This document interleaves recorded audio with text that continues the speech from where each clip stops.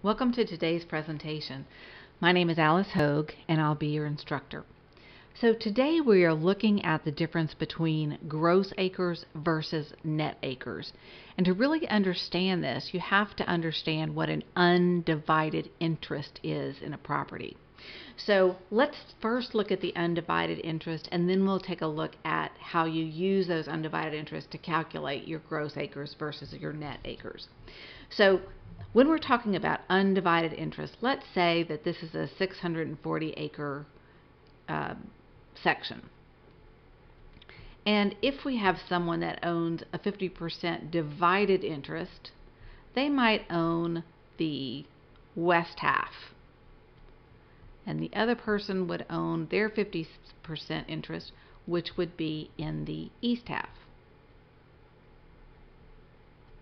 So that's where someone owns a specific part of a property. When we're talking about undivided interest, though, what we're talking about is taking that same section and instead of making it a 50% this owner having the east the west half and this owner having the east half what we do is we say owner A has a 50% undivided interest undivided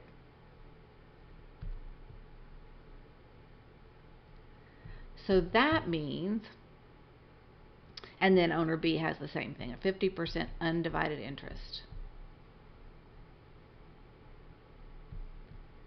So what that means is neither A or B own in a specific part of this property, but they each own, own a 50% of the whole. So in other words, they own a 50% interest in every atom in this piece of property. So a owns 50%, B owns the other 50%. They each own an undivided 50% interest, meaning it's not in any certain part of the section or of the property. I had a lady call me one time and she said, I want to donate, I want to uh, transfer three acres. She had a 50% undivided interest. I want to transfer three acres in my property to my granddaughter.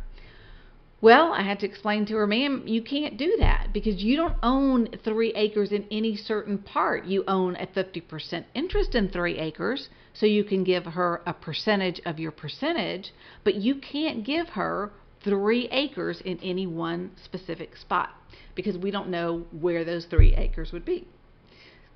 So now, using this information, now we know if someone owns a 50% undivided interest, that means we're going to calculate their gross and net acres by that undivided interest. Now, sometimes this is called a mineral interest or a mineral ownership interest. What is their share, their interest in the property? So let's say we have a lease that is a 160 acre lease. And we have two parties, Party A owns a 50% undivided interest, and Party B owns a 50% undivided interest,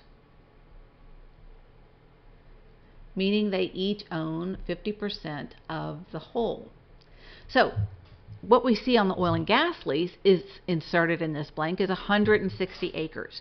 Are we going to pay a bonus based on the 160 acres? Are we going to pay a delay rental payment based on the 160 acres? No, we're going to pay based on what their actual ownership is. So 50% of 160 is 80 acres. 160 divided in half. Same thing, 160 divided in half. So in this case, their gross acres are going to be 160 acres. That's what it says in the lease.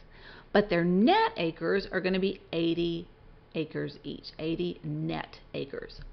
Now, how do you know what the percentage of interest is, what the mineral interest is, if all you have is a lease that says 160 gross acres? Well, what you have to do is when a landman submits, first of all, the landman runs the title, and when he submits the lease, the signed lease, to the lease and title analyst department or the lease department, he can, he has uh, attached to it something called a lease purchase report.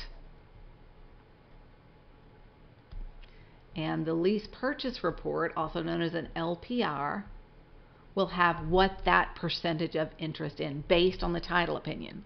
So the lease analyst will then input that information into the system so that forever, anytime anyone looks at this lease, they'll know what the percentage of interest is, what the uh, what the mineral interest ownership is.